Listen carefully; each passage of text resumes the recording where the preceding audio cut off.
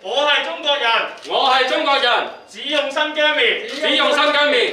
佢知道自己错，但系死都唔道歉，亦都系知道我哋中国嘅市场非常之大，佢亦都想继续同中国发展，继续同中国合作，但系佢亦依然系唔道歉。咁呢个系咩态度？就系希望含糊诶了结嘅事件。但系我觉得喺国家嘅立场、国家嘅原则底下，我哋绝对不容含糊，必须要公开道歉，令到唔好伤害我哋国民嘅感情，就系非常之简单。